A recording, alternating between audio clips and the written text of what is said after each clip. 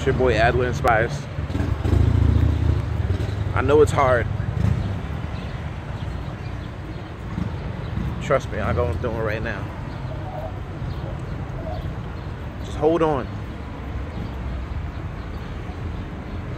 You know what I hold on to? I hold on to God. I just hold on. I hold on to dear life as if, you know, if God was walking past, I would just fall at his feet and just hold on to dear life. So I'm telling you, whether you believe in God or not, hold on. Okay? Just keep fighting.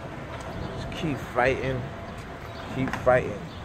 Guys, this is coming from a place of hurt. I'm hurting right now, guys.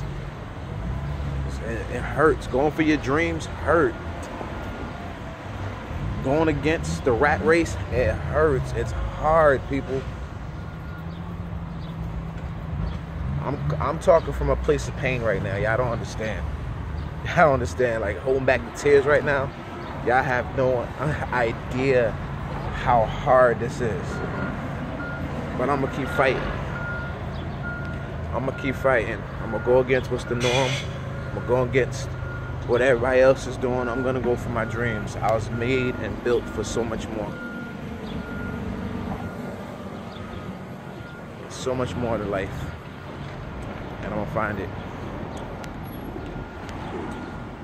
From your boy Addler Nicholas.